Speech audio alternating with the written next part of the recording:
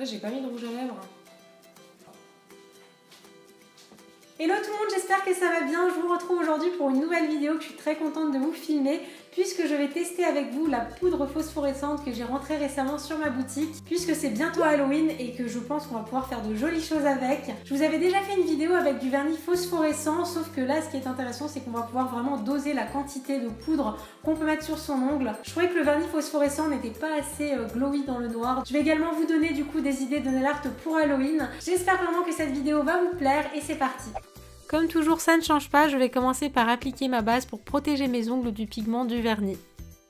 Ensuite, j'ai posé mon vernis et j'ai choisi d'appliquer un vernis blanc en deux couches et comme toujours, je vous conseille d'appliquer la première couche en couche bien fine, comme ça elle sèche rapidement, et ensuite la deuxième couche plus en épaisseur pour avoir plus d'opacité.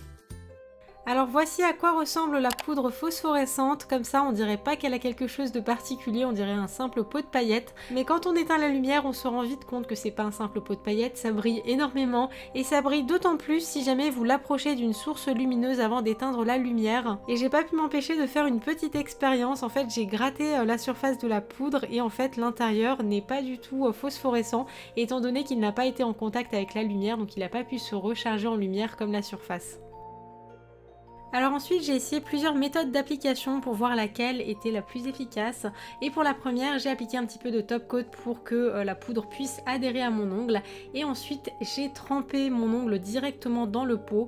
Et là ça a fait des énormes grumeaux, c'était vraiment une catastrophe. Donc un conseil ne faites surtout pas cette technique. Ensuite pour la deuxième méthode j'ai appliqué la poudre exactement comme je l'aurais fait avec de la paillette. Donc pareil j'ai appliqué un petit peu de top coat pour faire adhérer. Et à l'aide d'un pinceau éventail j'ai tout simplement saupoudré la poudre sur la surface de mon ongle. Ensuite j'ai fait une petite vérification dans le noir pour voir si ça avait bien adhéré. Et comme il en manquait un peu à certains endroits, j'ai réappliqué du top coat et j'ai saupoudré à nouveau euh, de la poudre jusqu'à ce qu'elle recouvre parfaitement toute la surface de mon ongle.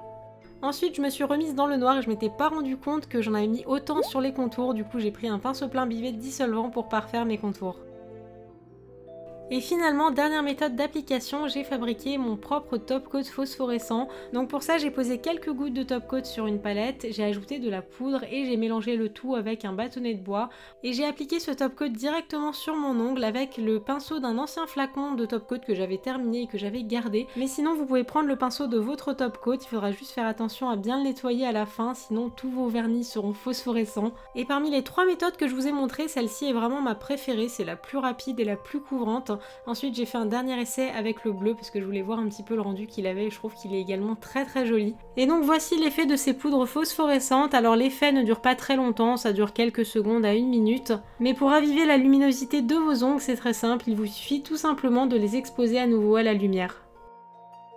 Pour tous les nail art que je vais vous montrer, j'ai utilisé du vernis noir pour la simple raison que lorsque vous allez être dans le noir justement, on ne verra plus du tout le vernis, on verra uniquement le côté phosphorescent. Et pour le premier dessin, j'ai dessiné le contour du masque dans Scream. Ensuite, j'ai rempli le contour en noir et j'ai dessiné le visage du personnage. Donc comme d'habitude, je vous conseille d'avoir une petite photo à côté pour reproduire au mieux l'expression du visage. Et attention, voilà le rendu une fois qu'on est plongé dans le noir. Je pense que pour Halloween, ça fera vraiment son effet et surtout, vous pouvez faire des personnages font vraiment super peur. Ensuite pour le deuxième dessin j'ai dessiné une araignée donc pour le corps j'ai tracé deux poids avec un dotting tool et pour les pattes je me suis servi de la pointe de mon pinceau fin pour faire les pattes les plus fines possibles et j'ai essayé du mieux que j'ai pu de faire ce dessin dans le noir.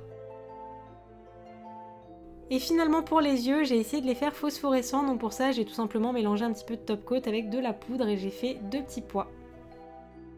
Pour le troisième motif, j'ai essayé de faire une petite empreinte digitale, un petit peu comme si c'était une trace de sang. Donc j'ai trempé mon doigt directement dans du vernis noir, j'ai bien épongé, il faut pas qu'il y en ait trop. Et j'ai tamponné tout ça sur mon ongle et euh, le résultat me fait vraiment penser à des films de détectives, vous savez, où ils allument des lampes spéciales pour détecter des taches de sang.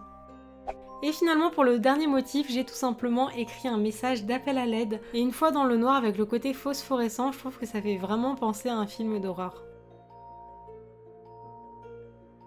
Et voilà pour cette vidéo, j'espère vraiment que ça vous aura plu et que ça aura pu vous donner des petites idées. Si jamais vous reproduisez l'un de ces nail n'hésitez pas à me taguer sur la photo avec le hashtag YokoNailArt. Je me ferai un grand plaisir comme d'habitude d'aller voir tout ça, d'aller liker vos photos. Et sinon je vous remets juste là tous les réseaux sociaux sur lesquels vous pouvez me retrouver. Enfin voilà, moi je vous fais plein de bisous, on se retrouve très vite pour une nouvelle vidéo. D'ici là, prenez soin de vous et je vous embrasse très très fort.